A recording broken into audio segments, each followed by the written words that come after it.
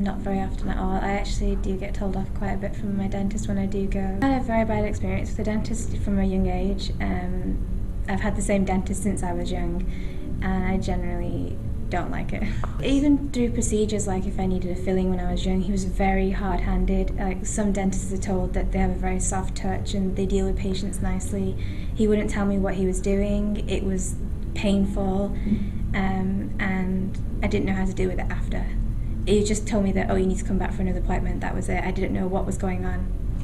But the thing is, when I grew up with um, with another procedure, um, he would say I needed something, but when I went to another dentist, they said no, I wouldn't need that.